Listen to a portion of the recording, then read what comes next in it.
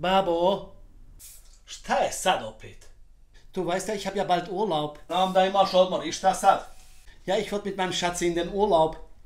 Šta mi šaci na odmor? Ich gehe doch nicht mit irgendjemand, ich gehe mit meinem zukünftigen Mann.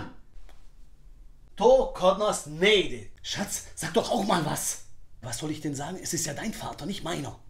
Ja, es ist mein Vater, aber dein zukünftiger Schwiegervater. Los, sag jetzt was. Ovaj bolje da ide sa mnom nego sa Freundin. Ne može i gotovo. Mit meinen Freundinnen, da hast mich gelassen in den Urlaub. Pa dobro, sa kolegicama si bila, to je nešto drugo. A šta će pričat narod? Niste se ni uzeli, a idete zajedno na odmor. Ne može, ne ide.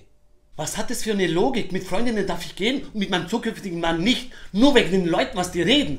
Tu nema logike, opet mora se gledat da ne bi se pričalo i sve. Ti znaš kakav je narod.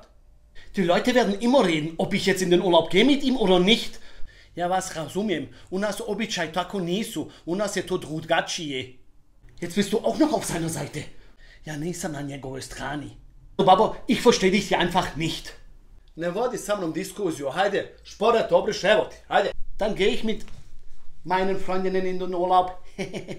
Joj, ove djece ne znaju običaj ništa, ja ne znam.